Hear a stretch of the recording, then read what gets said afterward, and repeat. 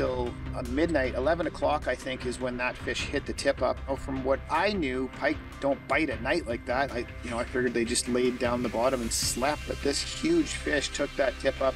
It's a big fish. Oh wow, that's big. That's a big fish. I thought he was off. He came right up.